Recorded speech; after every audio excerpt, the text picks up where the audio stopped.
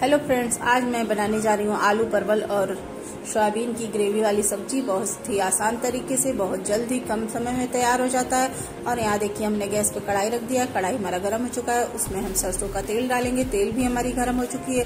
अब इसमें थोड़ा सा हम मेथी दाना, एक तेजपत्ता, एक दालचीनी का टुकड़ा, दो सूखी लाल मिर्च डाल के तड़के लगा देंगे। और तड़का हमारा लाल हो चुका है तो अब इसमें कटा हुआ प्याज और हरी मिर्च डाल के हम भून लेंगे, फिर उसके साथ परवल भी डाल के दोनों एक साथ हम भूनेंगे, क्योंकि हमको कम समय में बनाना है तो हम एक साथ ही दोनों को भूनेंगे। दोनों हमारा अच्छी तरह जब भून जाए तो फिर उसके बाद हम इसको ढक्कन लगा देंगे थोड़ा सा यहाँ देखिए हमारा परवल और जो प्याज है थोड़ा सॉफ्ट हो चुका है। अब इसमें हम कटा हुआ टमाटर डालेंगे। टमाटर को गलने के लिए हम थोड़ा सा नमक डाल देंगे और नमक डाल के हम कढ़ाई में ढक्कन लगा देंगे दो मिनट के लिए, ताकि हमारा टमाटर थोड़ा सॉफ्ट हो जाए। और यहाँ देखिए, टमाटर भी हमारा थोड़ा सा सॉफ्ट हो चुका है तो अब इसमें हम अदरक लहसुन का पेस्ट डालेंगे।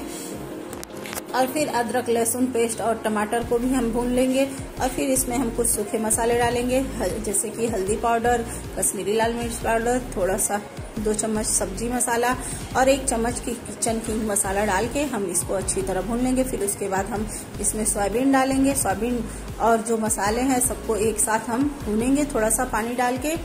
थोड़ी देर हम इसको ऐसे ही मीडियम फ्लेम पे अच्छी तरह से ढक के पका लेंगे।